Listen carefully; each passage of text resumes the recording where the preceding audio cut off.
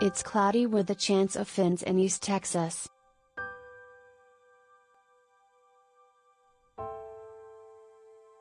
Twenty twenty one is pulling out all the tricks, including raining fish in Texarkana today. And no, this isn't a joke, the city of Texarkana, Texas, wrote on Facebook Wednesday.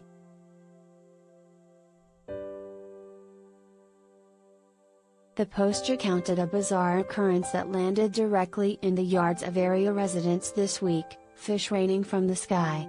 The falling fish were the result of animal rain, which the city described in its Facebook post as a phenomenon that occurs when small water animals like frogs, crabs, and small fish are swept up in waterspouts or drafts that occur on the surface of the earth. The flightless creatures can travel for miles in a cloud after getting swept up.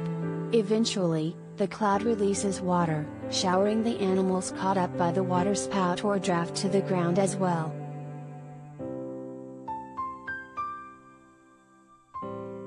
Even though the weather event lasted only a few minutes, hundreds of Texarkana residents commented on the city's Facebook post about their experiences with the animal rain, and many shared photos of the fish that fell on their properties, which wound up everywhere from residential yards to used car parking lots.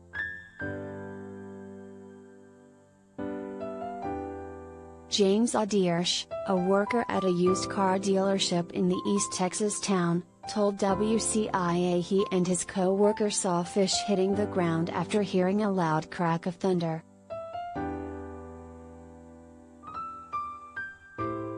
Colon.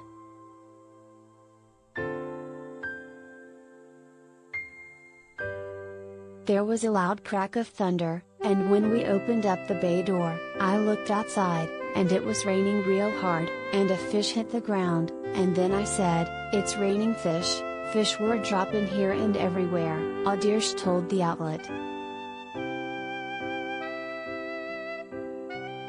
WCIA reported that the fish measured roughly 4 to 5 inches and looked to be young white bass.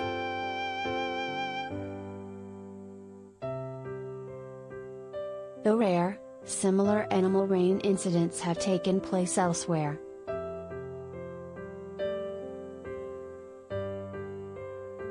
In California in 2017, fish rained from the sky over an elementary school, leading some students to be hit with fish as they played outside at recess.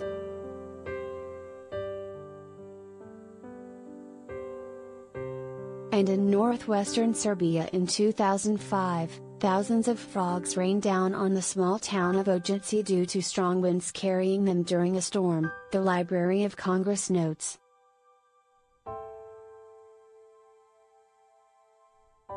In Texarkana, locals aren't eager to see, or smell, the raining fish again, with the city imploring residents on Facebook, please, for the sake of everyone, let's tiptoe into 2022 as quietly as possible.